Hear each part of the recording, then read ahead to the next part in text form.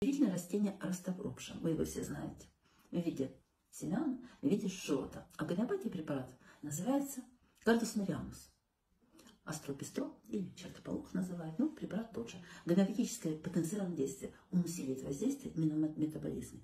Но вот как само вещество, что же за растение? Удивительное. Так вот, его не могли отнести ни к какому классу, оказывается, он ближе к стероидам человека.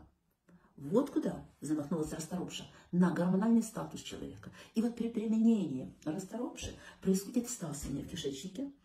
Вещество силимарин, которое основное действие вещество расторопши, из этой группы, при всасывании включается в метаболизм и уже выделяется желчью повторно в просвет кишечника. И уже когда повторно с желчью, соединяясь с продуктами переваривания в кишечнике, всасывается повторно в кровь, вот здесь и происходит секретное действие предупреждение желчно-каменной болезни, лечение желчно-каменной болезни, а гомеопатия кардус марианус – это лечение и желчной колики, снятие болевого приступа, предупреждение растворения камней и даже лечение гепатобилярной системы. Без расторопшей невозможно.